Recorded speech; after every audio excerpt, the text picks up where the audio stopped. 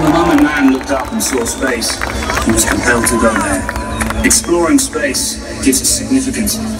It makes us part of a cosmic cycle. It takes us beyond our own life, beyond our own mind and body.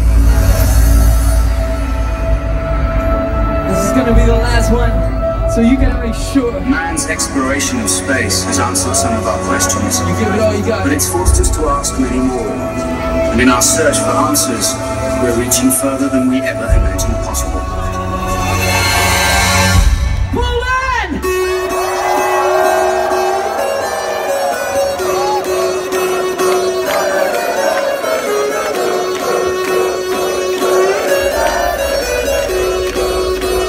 All right.